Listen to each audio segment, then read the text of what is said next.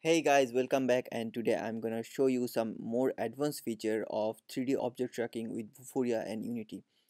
In our last tutorial, we saw that how can we make a 3D object tracking experience with Vuforia and Unity, but there was no occlusion. That means that object will be uh, augmented on top of the physical object. But today I'm gonna dive more into it and I will show you that how can you make a 3D object tracking with occlusion. That is, the object itself will be occluded by the physical component in the real environment.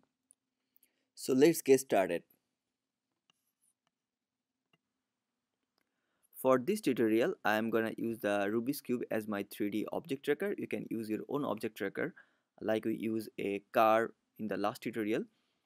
And uh, when this tracker is tracked by Vuforia, this climbing model will be shown if you are not familiar with the 3d object tracking please uh, see the previous tutorial and then uh, come to this one. It will make your life more easier okay? So yeah i have configured all the things like we did in the last tutorial and i have just changed the tracker and the model to make it convenient with the uh, objective of the project okay? So what will happen that this um, particular model will be crawled up on top of this Rubik's Cube with occlusions. Okay, so in order to achieve this, we have to create a 3D object uh, as a child component of the object tracker. So as I am using the Rubik Cube as my physical target, so I'm gonna create a 3D cube. I'm gonna place it here in front of the player I can change the position later on when uh, I am trying to debug it with my device. For now I'm just gonna put it here. Okay great. Now if I go to the cube component uh, we don't need the box collider so simply remove this one. And also in the material section uh, rather than using the default material we are going to use the depth mask material so this one is provided by Vuforia. This material has a shader that that is responsible for the occlusion.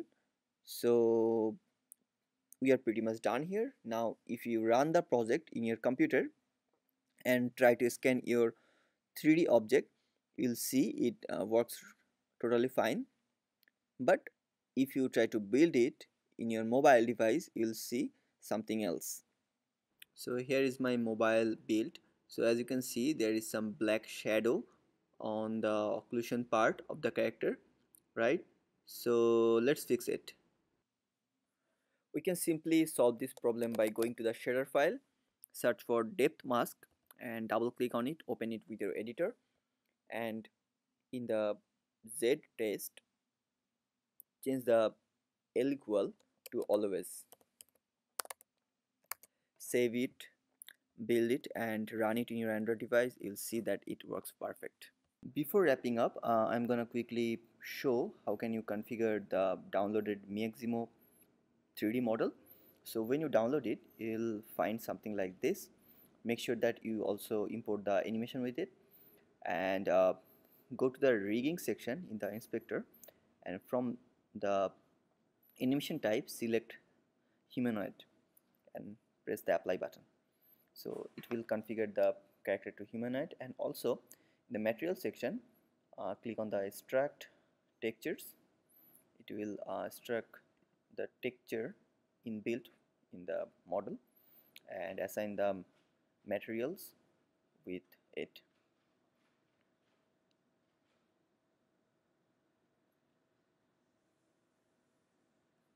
So when you are done uh, the model is pretty much ready to apply on the scene. So if you drag and drop it you'll see that there is no animation controller here in your model. So you have to create an animation controller by yourself. Right click on the project window create and animation controller give it a name and assign it to the controller of your character. Next uh, for me I have used two different animation for my character. One is the climbing animation and another one is the stand. So when this animation is done the stand animation will start playing. So if you want to do that again go to the model and the the downloaded model you will find there is animation clip under the model as a child so drag and drop it to the animator window and also drag and drop the another um,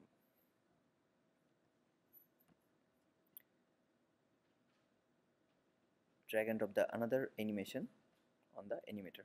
So this is two different model. This is a sitting model and this is a climbing model. Both of this model had the animation so I had to just drag and drop this animation clip on the animator uh, inspector okay and now just simply right click on the base and make a transition between the animation clip